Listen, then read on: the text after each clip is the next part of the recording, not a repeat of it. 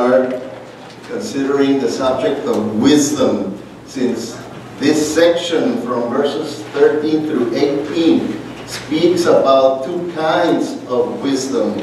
The wisdom that comes from above, the, the wisdom that comes from God, and the wisdom that is from here, the wisdom that is earthly, the wisdom that is unspiritual, that comes from our flesh, our sinful nature, this the wisdom that comes all the way back to Satan, the author of sin and the author of deceit, the author of this destruction and everything that has to do with the truth. So, you know, we have to be careful. What kind of wisdom do I have? Because depending on the kind of wisdom that you have, that's the kind of life you're going to have because you're going to be making decisions according to your wisdom. And especially the youth. You see, the youth right now, when do you think that you make the most important decisions in life? When you are mature or when you're young? When you're young. You make decisions about your career, you make decisions about dating, you make decisions about getting married, you get make decisions, all kinds of important decisions for life ahead. And not having wisdom to really make those decisions, just because your wisdom was from your flesh, from this earth, from this system, the world. So when, when it feels good, you're going to decide about the, according to your emotions, according to your feelings, according to your dreams. Is that what you're going to do? Or are you going to really follow God's wisdom and live the kind of life that God has prepared for you if you only obey Him? So it's going to be up to us which wisdom. So let's start reading James 3, verse 13. Do you have it there open? Your Bibles? It reads like this. Reading from the NIV. Who is wise and understanding among you? Okay, next week, you're going to answer that question. Let them show it by their good life, by deeds done in the humility that comes from wisdom. But if you harbor bitter envy and selfish ambition in your hearts, do not boast about it or deny the truth. Such wisdom does not come down from heaven, but it is earthly, unspiritual, demonic. For where you have envy and selfish ambition, there you find disorder and every evil practice. But the wisdom that comes from heaven is first of all pure, then peace-loving, considerate, submissive, full of mercy and good fruit, impartial and sincere. Peacemakers who sow in peace reap the harvest of righteousness. Okay? So, we uh, were considering last week, last Sunday, the difference between uh, between wisdom and knowledge, right? And uh, so we know that knowledge is important in order to have uh, wisdom, but not any knowledge. It has to be the right kind of knowledge, the knowledge of the truth. And especially we're focusing on the truth of God because we want to have godly wisdom. So we're going to need the truth from God. Okay? So our problem is not accumulating facts. Okay? Because we have facts all over, okay? Like I was sharing with you, we have all kinds of information available just there in your phone. Just there in your phone, you have the whole world at your disposal of information in any language that you want or that you know you can have all that information. So the problem for with us is not about facts. Okay? It's not about knowing what is truth. Okay? Because it's there. Of course, we know that because there's all kinds of information in the internet, books, uh, everywhere your computer. You know, not everything is according to the truth of God. but we have a lot of information. And uh, our problem, the main problem that we have in Christianity is, is lack of wisdom. Okay? And you know, last week we learned about what godly wisdom is all about, what false wisdom is all about. So we're talking about that kind of wisdom, godly wisdom. We're not able to take the facts we have learned from the scriptures and put them into practice in real life situations at points of need.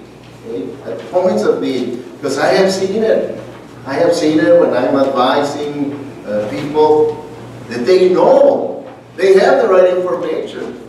They're not ignorant, but they just don't put it together so that they can see, okay, so this is the, the way that I should live, this is the way that I have to handle this situation, because this is what the Bible says, because I already know. I have heard that many, many times. And sometimes I have noticed when I'm advising somebody, I say, oh yeah, say, oh yeah, I knew that, but I just never put it together in a practical way. And that's what God's wisdom gives us that ability, that power, that vision to put one plus one is two, not one plus one equals one. No, no, plus equals two. You have to see it clearly. And that's what God is offering to us freely, the Bible says in James chapter 1, freely and in abundance. If we only really desire to have wisdom. Last week I was sharing with you how for the for the Hebrews it was number one priority for them. Wisdom, wisdom, wisdom, wisdom. That's why they had a complete set of books, the books of wisdom that we have in the Bible. Okay? Just a complete, all the book, the Proverbs, the book of Proverbs, all wisdom, all the sayings of the wise men. So wisdom was key for them. And that's why even Solomon, that's what why he asked, when God asked him, what do you want? I know you're ahead of you. You have a, a great responsibility to be the king of the number one country in the world. What do you want? Ask whatever you want and I will give it to you. And he said, I, I want wisdom. So that should be our desire every day, every day. Lord, please give me wisdom. Let me see life from your perspective, not from my perspective, not from the perspective of this world, not from the perspective of my flesh, not from the perspective of Satan that is behind all error and all distortion. So help me, Lord. Is that your prayer? Do you really want to grow in wisdom, like godly wisdom? Or you just want to go, you know, just pretending that you're that you're a good Christian, that you're wise, that you're spiritual, just because you're involved here, involved there. Uh, uh, uh. But in reality, you're lacking it within you. That's important to be a reality within you. Okay? Not just pretending outside. That's why, why God is so focused on transforming our character, our heart, our mind, because the Christian life begins within us, not outside with activities, with involvement. It is within us the real Christian life. You remember what the Bible tells us? Jesus told us that one day we're going to be in His presence and we're going to say, Lord, I did this and I was involved in this and I was involved in that. So, Lord, you know that I was a good Christian. I never knew you. Depart from me. I never knew you. I know you were involved in all kinds of religious activities. And it was just religious activities, but I don't know you. You see, that is got to be something real within you. Not just Christian activity, not just pretending. Okay? That's why Notice verse 13. What does it say, verse 13? Who is wise and understanding among you? So before they could answer, he told them, look, I'm going to give you a hint so that you can answer. Let them show it by their good life, by deeds done in the humility that comes from wisdom. So he's talking about, hey, you're going to have to really show it with your fruits that you are really wise with a godly wisdom. Okay? And that's why James recognize that if we are ever to put our faith into action, because remember that's one of the, the main things that, that James is writing about. He's telling us, look, you have to show that you have the, the true faith, living faith, not the dead kind of faith, not the demonic kind of faith, but the dynamic kind of faith by really listening to the Word of God and putting it into action. Okay? And James is telling us here that if we ever to put our faith into action through good words and good works, we're going to need wisdom. Okay? If we don't have wisdom, forget it. Okay? We're just going to have religious activity. We're not, we're not going to have spiritual works done because of the leading of the Holy Spirit, because the empowerment of the Holy Spirit. Our words are not going to be by the Holy Spirit according to the Word of God for edification.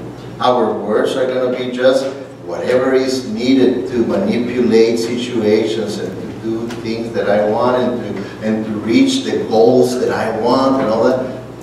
That's human wisdom, unspiritual wisdom, demonic wisdom, and, and that's what we're, we're going to be looking here. Okay? Because in this passage, James is comparing true wisdom and false wisdom in three different aspects. We covered the first one last week, origins, where these two wisdom comes from. One comes from above, the other one comes from down here. Okay? And now today we're gonna we're gonna cover half of in operation. Okay? In operation, they operate in different ways. They don't operate the same way. Okay? And then we're going to finish with the outcomes, the results of one wisdom and the result of the other kind of wisdom. So last week we went verses 15 and part of 17, first part. We, we covered the contrast in origins. Okay? So now let's look at the contrast. Okay? He's comparing these two kinds of wisdom, and now he's going to compare them in the way they operate, the way they, they function. That is different. Okay? It's different. So we're gonna we're gonna begin with looking at the earthly, okay, the unspiritual, the demonic kind of wisdom. Okay, we're gonna see how this wisdom operates. Okay? And uh, that's important for us because you know that all of us, we struggle with our flesh, right? All of us struggle with our flesh. It's a constant struggle. Every day, every minute, we're constantly struggling with our flesh. And now we know who is appealing to our flesh. Who's appealing to our flesh? The world system. And we know who is creating and shaping the world system? Satan. That's why James is telling us that that kind of wisdom that comes from us, from that is unspiritual, that is from the flesh, in reality comes from the world, and finally from Satan. So I know it's difficult for us to accept that maybe I have the wisdom that comes from Satan. It's difficult for us. It's easier for us to say, yeah, it's for myself. But James is telling us the truth. And he's telling us, yeah, but it's not only from yourself. You have to understand who's deceiving you. This system is deceiving you, and this system, is, who is behind the system is Satan. So, in the final analysis, you are Satan's puppet. And in reality, at the end, you're just doing his will that's the way He's working, so that you can do His will and not God's will. You see why it's so important, this passage, for us to truly understand the difference of operation, how they operate. Okay? And if you notice, verse 13 says, Who is wise and understanding among you? Let him show it by their good life, by deeds done in humility that comes from wisdom. Okay? It says, But if you harbor bitter envy and selfish ambition in your hearts, do not boast about it or deny the truth. So the very first thing that we see about the evidence of false wisdom is that it operates in bitter envy. Okay, other, other versions, it says jealousy, which is the same thing, it's just the translation changes. According to the translators, they consider that this word has more the idea of jealousy, others no, it has more the idea of bitter envy, but both are the same thing. Okay, that bitter envy, we have jealousy. Okay, so it works that way. It says, but if you harbor, or you hold, or you have bitter envy, jealousy, and the idea of a harbor is something that is settled in you. It's already settled there. Okay? That bitterness that is leading you to be jealous, to be envy, it's already settled in your in your character. Okay? It's there like a ship in a harbor. It's already settled there, secure there. In this case, it's secure for the bad. Okay? To have this kind of uh, attitude, this kind of uh, feeling, this kind of actions, bitter envy. Okay? Now, let me show you the, the meaning of this word. Okay? The meaning of this word okay, is to keep, typically, uh, let me read it without, without the uh, parenthesis first. It says, to keep a, to keep in one's mind, uh, especially don't know, let's read it all, all way, because in reality, uh, it's only giving us the different ways to see it. To keep a thought or a feeling, typically a negative one, in one's mind, especially secretly. Okay? Secretly, when you're not letting people know of your envy, of your jealousy, that kind of bitterness. Sometimes you can, we can more or less tell it all. Hmm? But it's to keep a thought or a feeling, typically a negative one, in one's mind, especially secretly. Okay? Secretly. Now, another definition that we can find in the Bible dictionary is a harsh, resentful attitude toward others. Okay? A rash, resentful attitude towards others. Maybe you have experienced that personally by you having that kind of attitude or by somebody having that kind of attitude towards you. I know that we all have seen that or experienced that. That's what it means. That, that James is saying, allow this type of uh, condition, spiritual condition in your life, that is leading you to think and to feel and to act in this way, that's not God's wisdom. You're not allowing God's wisdom to rule your life. This kind of behavior, these kinds of feelings, that kinds of thoughts are from your flesh, are unspiritual. It's the way that the world sees as normal.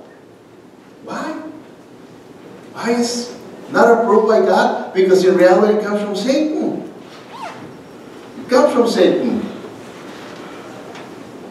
So don't go that way. But, you know, it is easy for us to accept this kind of feelings, this kind of thoughts, these kinds of attitudes and actions because we see it as it's normal. Yeah, it's normal for the flesh. But according to the Bible, if you are a real Christian, now the flesh is not your master. Now is the Holy Spirit your master. So the Holy Spirit is not approving of that. God is not approving of that. Your Savior, Jesus Christ, is not approving of that. So we shouldn't approve that just because it feels normal and it looks normal. Yeah. But for the other kind of wisdom, it's normal, but not for godly wisdom. Godly wisdom is not normal. Look, another definition. Okay? We're looking at uh, bitter envy, jealousy, the, the way that James is describing this kind of false wisdom, this pleasure for someone else's success.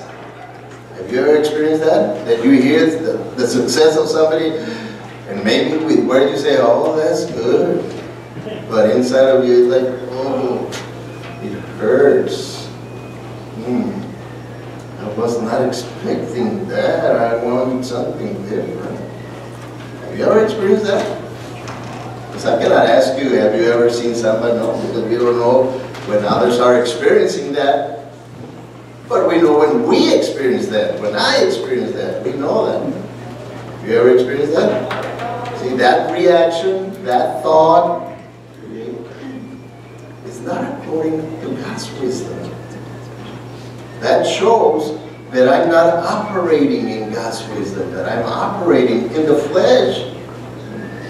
Therefore, my reactions, my attitudes, probably my words and my actions are not wise in the eyes of God. And we know we say that, we tell people, hey, that, that was not wise, but you did. So when we say that, as Christians, it's because we we know the difference between what is approved by God and what's not approved by God, right? So that's what James is telling us. Look, this is not approved by God. This time, this kind of feelings, these kinds of uh, attitudes and actions are not approved by God. Displeasure for someone else's success. Remember in the Bible, who were the very first characters in the Bible that show that kind of jealousy, that kind of bitter envy? Remember? Cain.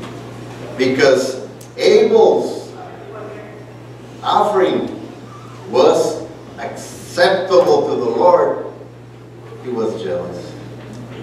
And what happened?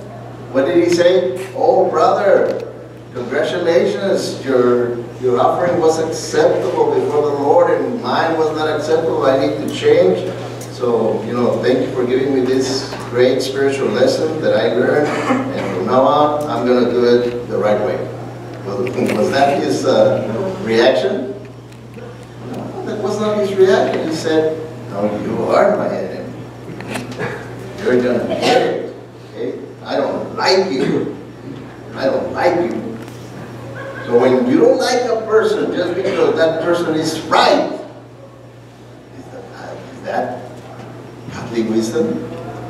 That kind of feeling? That kind of emotion? That kind of thought? Is that godly wisdom? Or the earthly and spiritual and demonic wisdom. So that that's what exactly James is saying, and he's telling us, look, you have to make sure that you really operate with godly wisdom. If not, your life is not going to be what it's supposed to be according to God's plan, according to God's will for your life. Because, you know, God's will, God's plan for our life, in general, He says, I want you to have abundant life. Sometimes we say, what's that, abundant life, a lot of money? No, no, He's talking about godly life.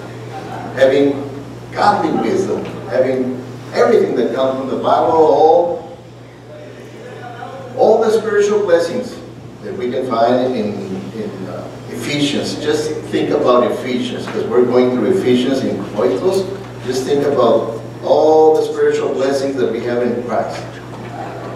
Now he's telling us, I want you to know that, be aware, and enjoy and use those spiritual blessings that you have in Christ.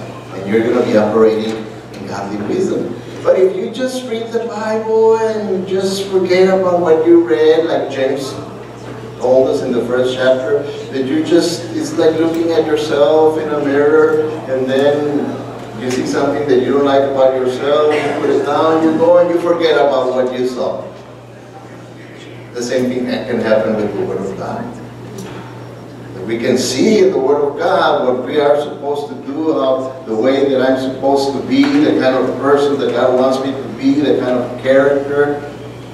But then I, I said, oh, okay, yeah, no, I can see that I'm, I'm failing in this and that, but then I go away and I forget about it. I don't work on that, I don't repent about that, I don't really do spiritual battle to overcome that, but I just uh, forget about that. Okay, so that's what happened. Cain and Abel, another example. Joseph and his brothers. Were they jealous about Joseph? And they blessed Joseph? Oh, they wanted to kill him. Okay? They wanted to kill him. And that's to that point, jealousy can go to that point of really wanting to hurt people. To really hurt people.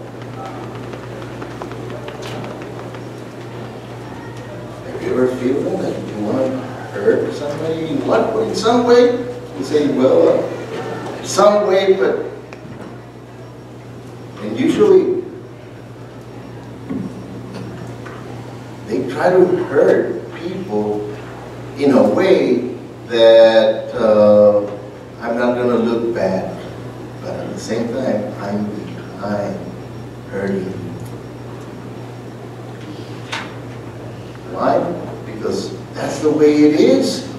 Uh, we're going to look at life. But Joseph and his brothers, the apostles, remember that part where the Bible said that they argue among themselves about who would be the greatest among them. So they were jealous among them.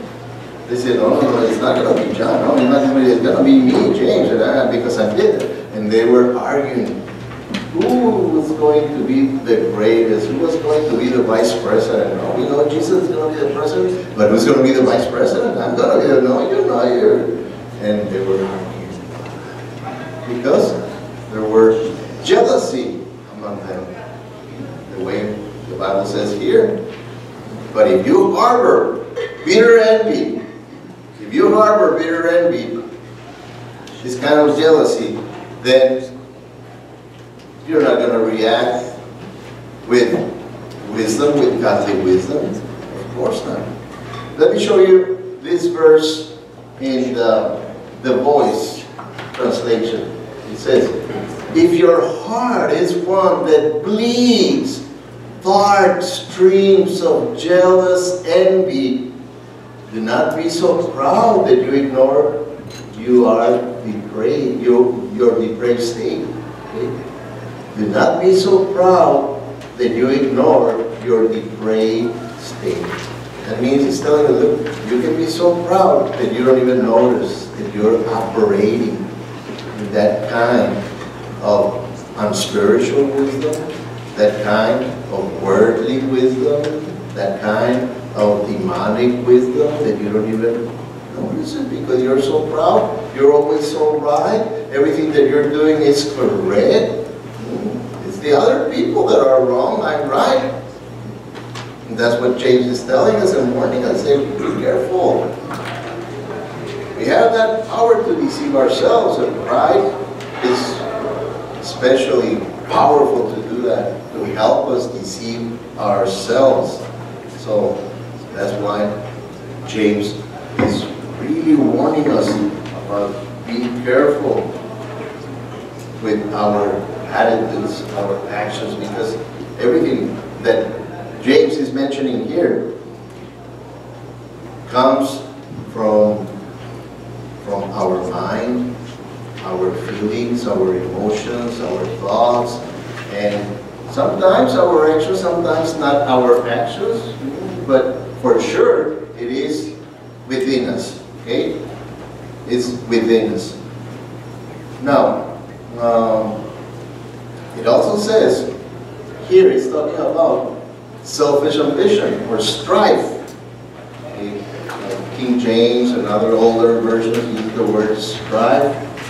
More modern versions use selfish ambition. It says, if you harbor or hold selfish ambition, strife, the same thing, right? That's already settled in your character. You see, that, that's why it's so important for us to be honest with ourselves because if that's my case, I'm going to have to really work on that because that kind of mentality, that kind of uh, natural reaction is already, it has already harbored in my heart, in my mind, in my soul, my character. So now I need to really work on removing that. Is that easy? It's not going to be easy. It's not going to be impossible. It is possible because we can do all things through Christ, but only through Christ. And it's going to take really work. It's not just to listen to one message and then to feel bad and say, oh yeah, I'm fighting and this, and go out and do nothing about it. That's what James already warned us in the first chapter, and this is what he continues to, to talk about. Hey, do something about it. Okay? Do something about it. Don't just listen. Don't just learn and learn and learn, and then you don't put it into practice. Put it into practice. So, what is the meaning of selfish ambition? What is the meaning of strife? That word in the original, what is the meaning? Okay? Because we only have translations. Okay? The meaning, it says, it refers to self-seeking that causes opposition and division. Okay, that's why it is translated that way of self-ambition, strife, because you have self-ambition, you want a position, you want something, okay? And in the process, you don't care. You don't care. If you create opposition and division, you don't care. Because what you care is what you want.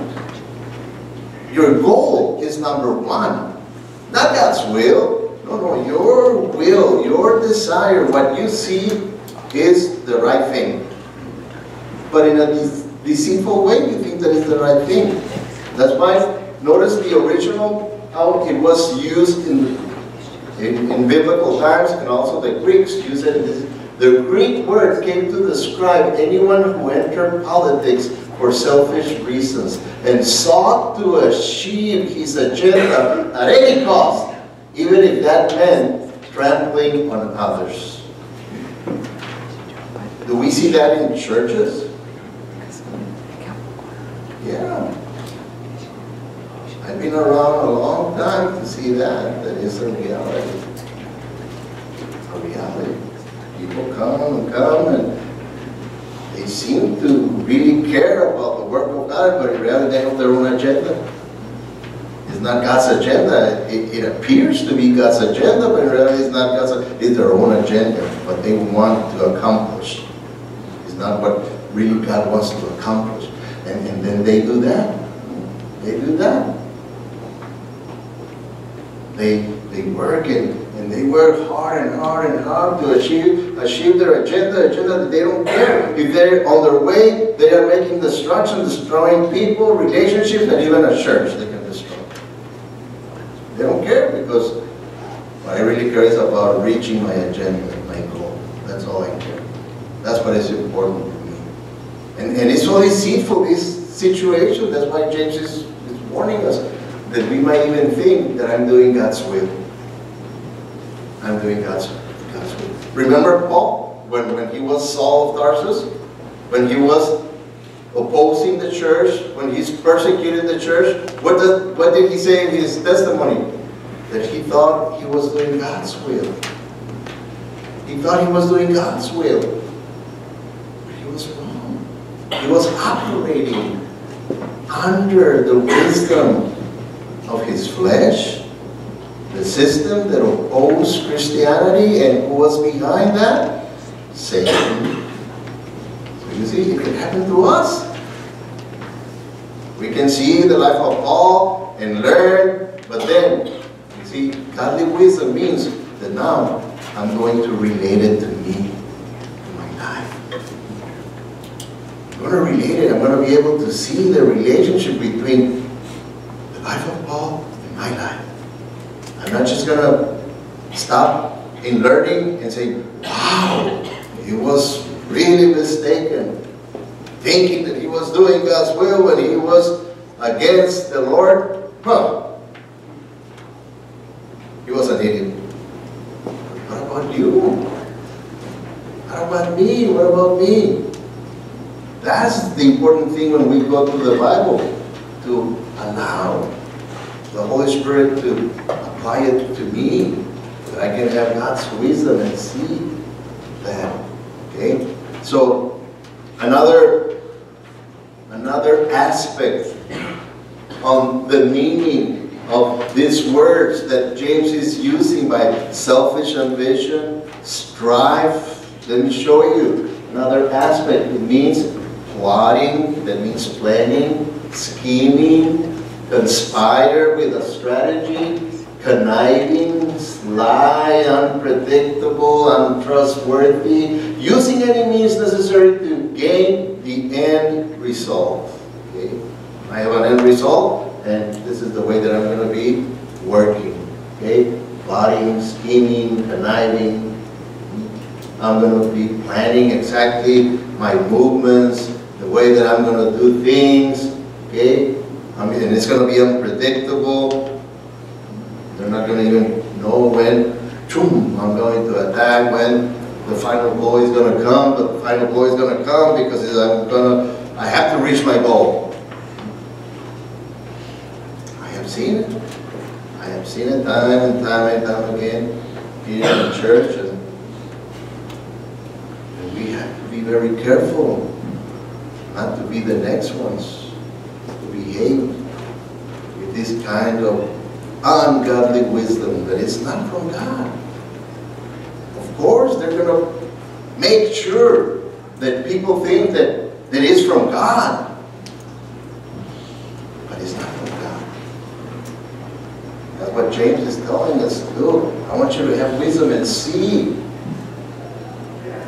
so that you can have discernment be able to discern truth from, from error. Because, look, about selfish ambition, about strife, look what Paul told the Philippians. Chapter 2, verse 3 says, Do nothing from selfish ambition or vain conceit, conceit to make a good impression on others. Okay? Because that's the main goal, to make a good impression on others. But with real humility okay, of mind, regard one another as more important than yourself. When you consider yourself more important than anybody else, then you're going to behave in that way. Like, my agenda is number one. I'm going to achieve my agenda. It doesn't matter if I have to step all over people, step all over a church, a family. So we have to be careful. That's the way it operates. That's, that's the way that that James is warning us. But if you harbor bitter envy and selfish ambition in your hearts, says, do not boast about it or deny the truth. Okay, telling, do not boast about it. Don't say, I'm right, and I know I'm right. Or deny the truth. Don't say, no, I'm not wrong. It's telling both things. Because that's common.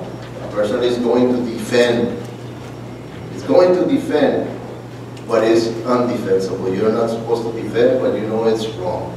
But that's deceit.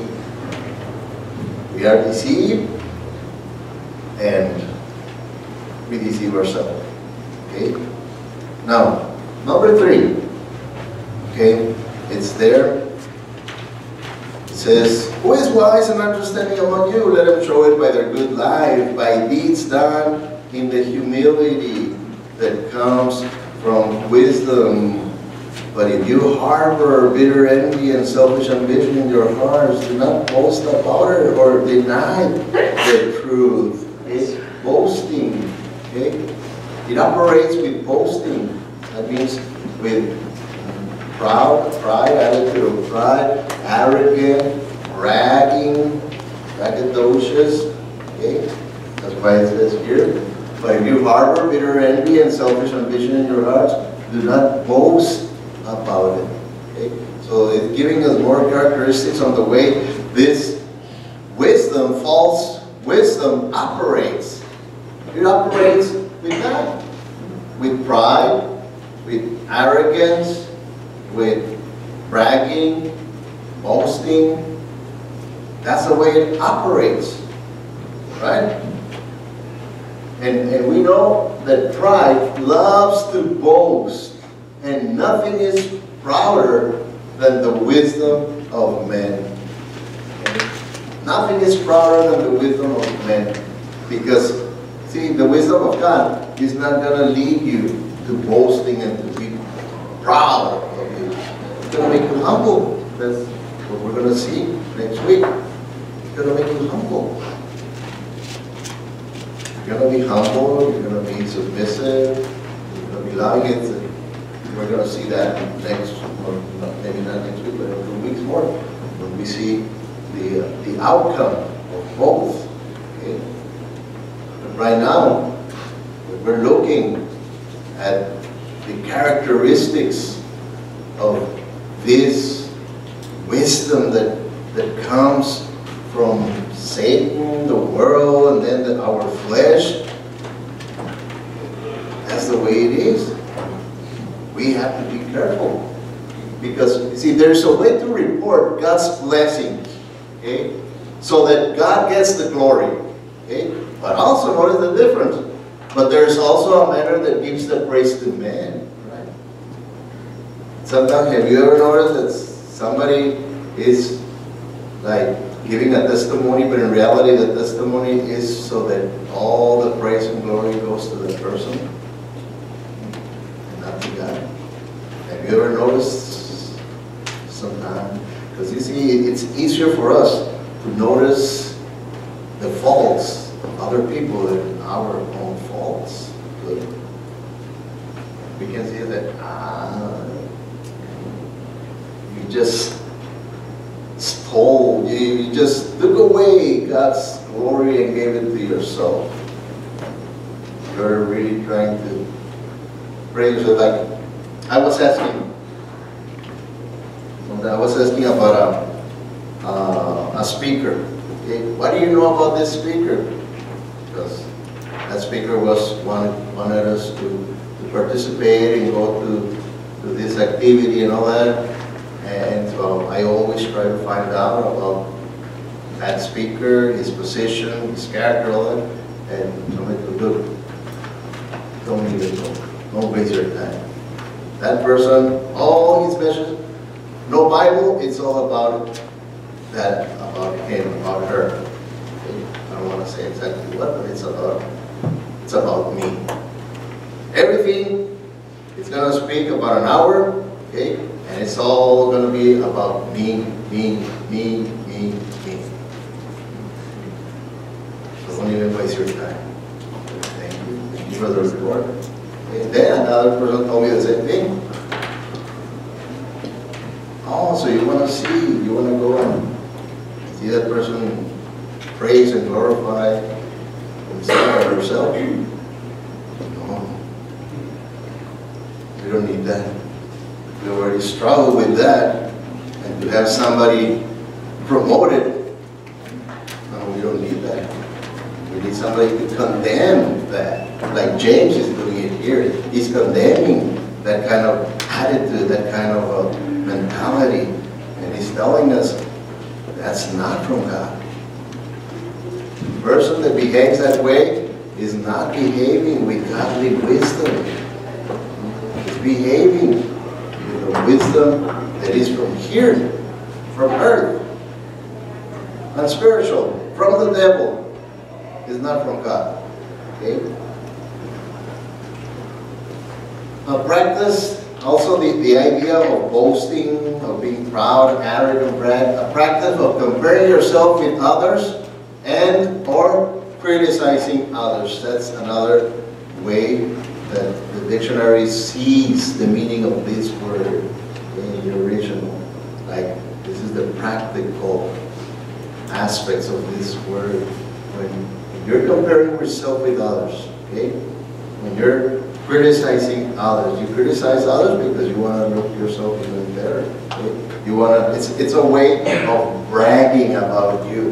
Look at that person, look what he did, look what he said. In reality, you're bragging like, I am better. That person is really bad. I'm better, I'm good. When in reality, the Bible says that if we have that inclination to be comparing ourselves with others, just compare yourself with Jesus, that's all. That's all. Forget about comparing yourself with other person here in the church or from other family member or compare yourself with Jesus. Are you going to pass the test? So forget it. Don't do that. Okay? And that's what it is. It's.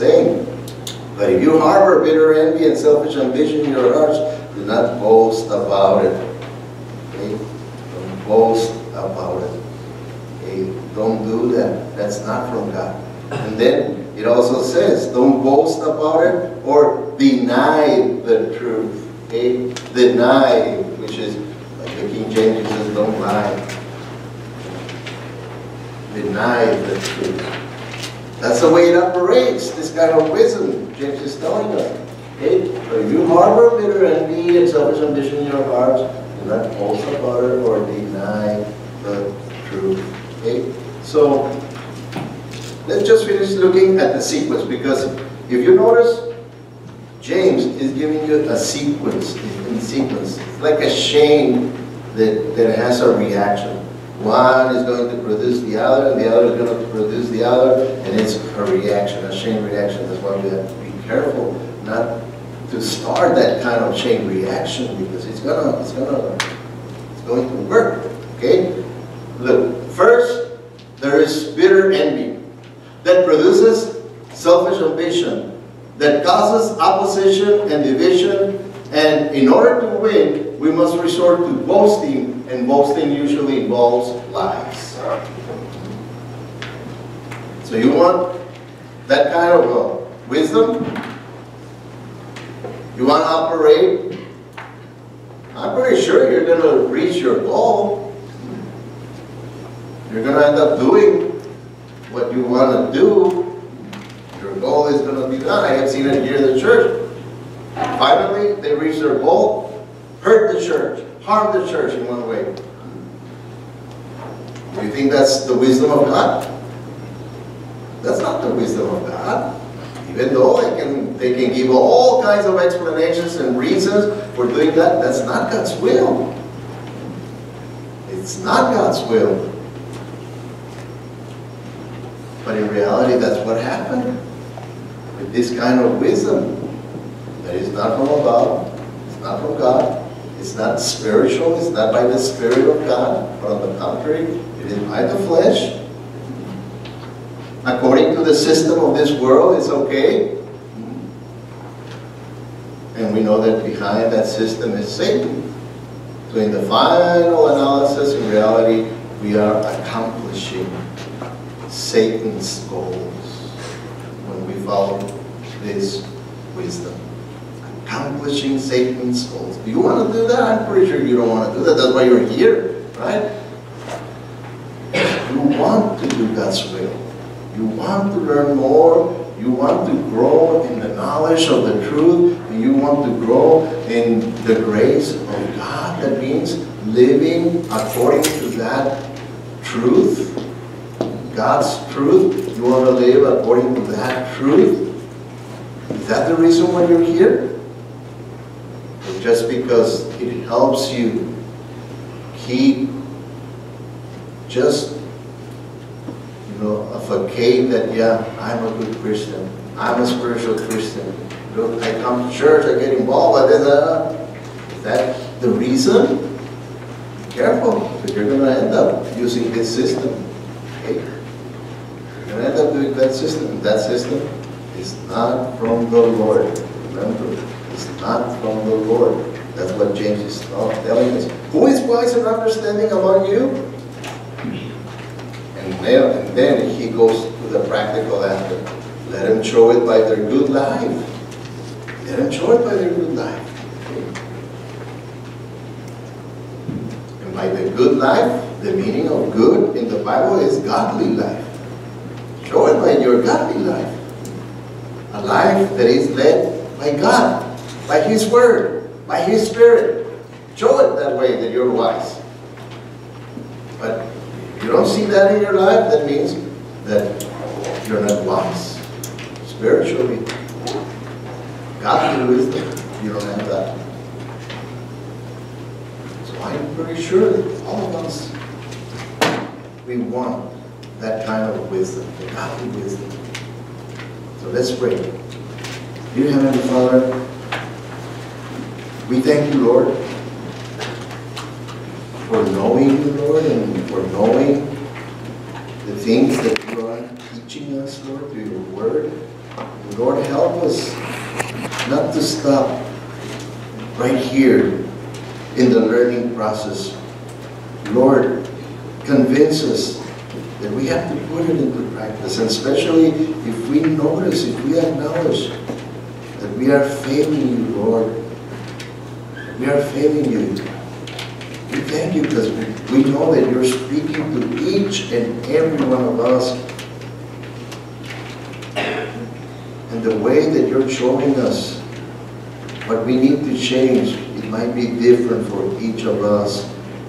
But Lord, help us to be honest.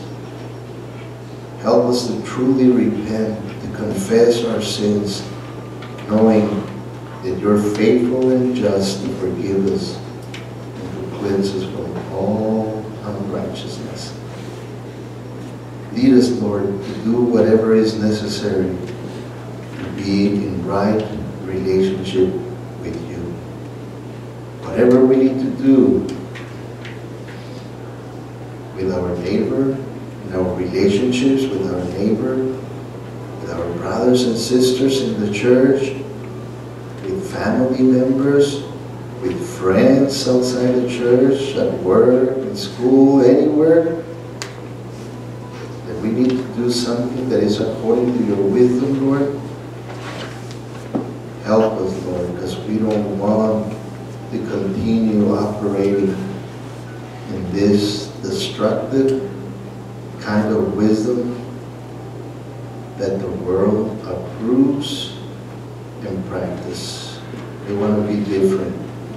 We want people to see the real difference that you can make in the life of a sinner that has repented and that is following you in obedience. And we ask it, we pray it for your honor and glory only. And in Jesus' name, amen. God bless you. Have a great Sunday. Lord's Day with your family.